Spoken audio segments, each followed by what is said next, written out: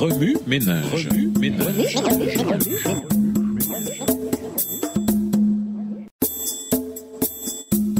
Remue ménage. Remue ménage.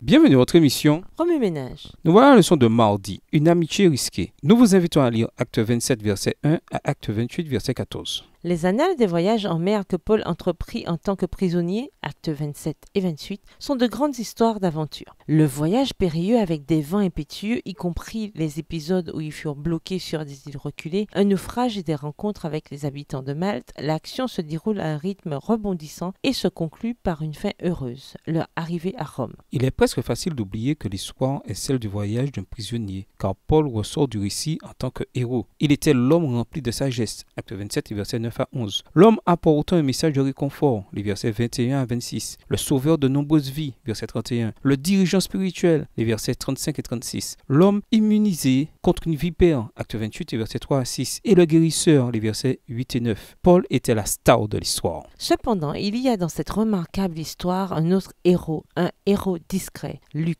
que Paul appelait notre ami le médecin, Colossiens 4, le verset 14. L'écrivain méticuleux du récit était avec Paul. Luc et Aristarque. Acte 27, le verset 2, étaient les fidèles compagnons de détention de Paul dans ce voyage, faisant eux aussi l'expérience des périls en mer. Pourquoi Luc était-il là? Paul était prisonnier, mais pas Luc. Il n'était pas obligé de l'accompagner et de s'exposer lui-même à tous ces dangers inutiles. Et cependant, il y alla volontairement et survécut à maintes reprises à des expériences presque mortelles. Pourquoi un individu se ferait-il du tort à ce point pour un autre individu? Même dans ses écrits, il néglige de se mentionner, bien qu'on puisse présumer qu'il dut contribuer beaucoup en assistant Paul et en servant les autres sur le bateau. Il fait de Paul le héros de l'histoire. Même dans le sujet de la guérison et de la santé, son domaine dans l'épisode où le père de Publius à Malte était malade. Actes 27 et 28 témoignent non seulement d'un écrivain minutieux et méticuleux, mais aussi d'un ami loyal et d'une âme humble. Jésus a dit, le plus grand amour que quelqu'un puisse montrer, c'est de donner sa vie pour ses amis. Jean 15, verset 13. Ce reflet de Jésus se voyait dans Luc, le fidèle compagnon qui sacrifia volontairement sa vie pour Paul, son ami. Comme Jésus, il a de lui-même renoncé à tout ce qu'il avait et il a pris la condition de serviteur. Philippiens 2, verset 7.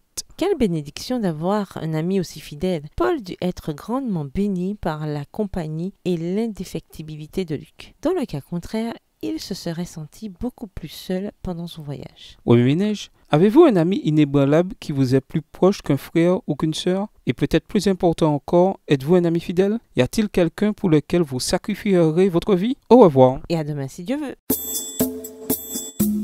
Remue ménage. Remue ménage.